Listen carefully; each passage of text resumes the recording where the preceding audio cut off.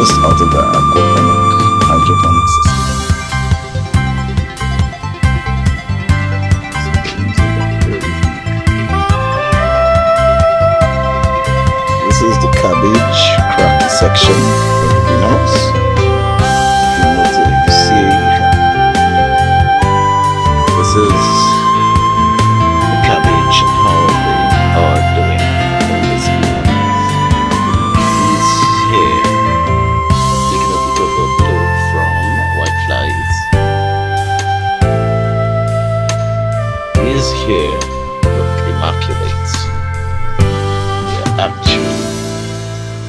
first set of cabbages growing.